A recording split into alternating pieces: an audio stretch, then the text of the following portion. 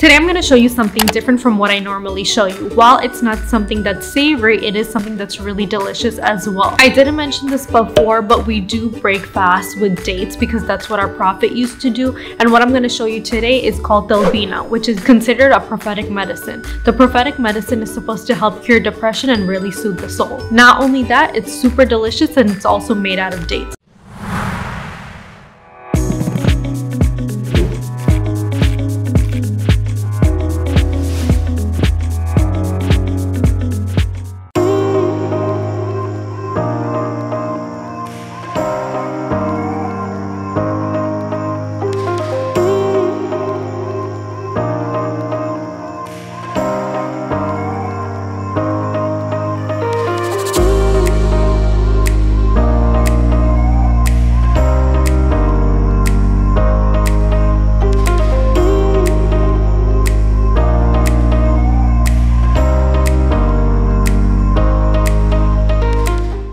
To begin making our porridge, what we're going to do is grab a bowl. And then I'm showing you guys pearled barley, but it can be any barley. I then add about half a cup and I add it into my bowl. Then you'll see I'm grabbing enough water to cover. As always, there's no measurement for this because it's just a matter of covering the barley. I then swish my hand around the water and once it becomes cloudy, I wash the barley until the water becomes clear. I then take it, put a little lid on it and I don't actually shut it completely tight and I leave it on the countertop for about 4 hours. By the way, you can just use a food processor and make the barley into a powder and then you don't have to soak it for 4 hours. I then grab a food processor and I start preparing what I need to put in my porridge. I add 1 4th cup of pistachio and almonds. I then pulse it in my food processor so it turns into little pieces just like this.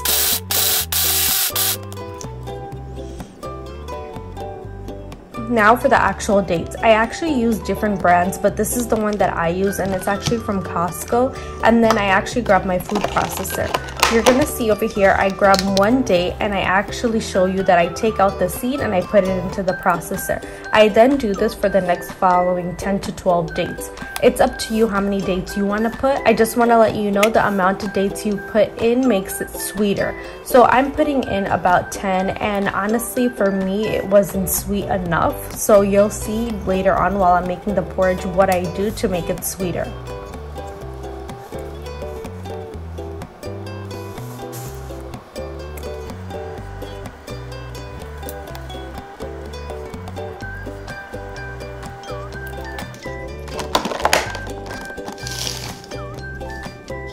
I then pulse it a few times on my food chopper and also you can use a knife to cut this. I'm just super lazy and I want to be fast and efficient.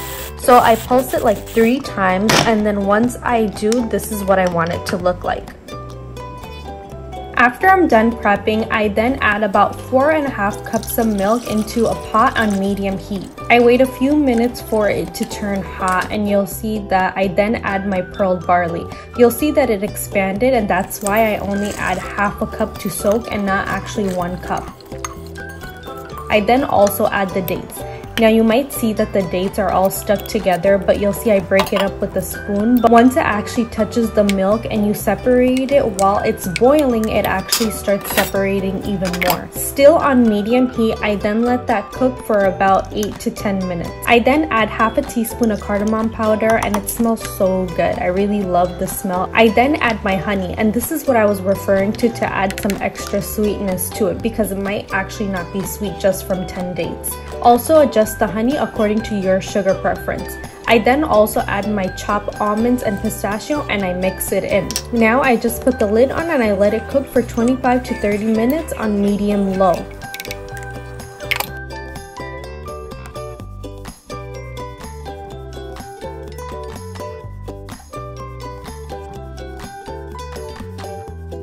You'll know it's done when you uncover the lid and then you put your spoon in and it becomes a thicker consistency, just like this. Now, the easy part, we can finally eat it.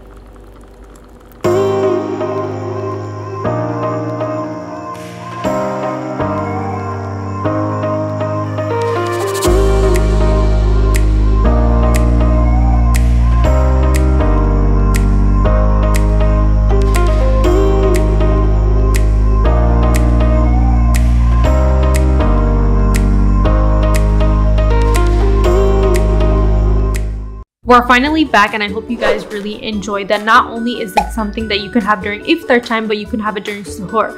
For those of you who are wondering what is suhoor, it's basically prepping your body mentally and physically for the next day that you have the intention to fast. Suhoor time is before dawn and once that's done, we pray Fajr and have the intention to fast. If you need more information about your habits or prophetic medicine or even about Ramadan, please check out Shop Eternah, which I'll link down below so you can find better ways to track your mood and not only that, you can also keep yourself consistent. Check out my one that I have below. It's actually really, really helpful. Thank you guys so much for watching and stay tuned for my mini Eid series that I'll be explaining not only what Eid is, but also what we eat during that time.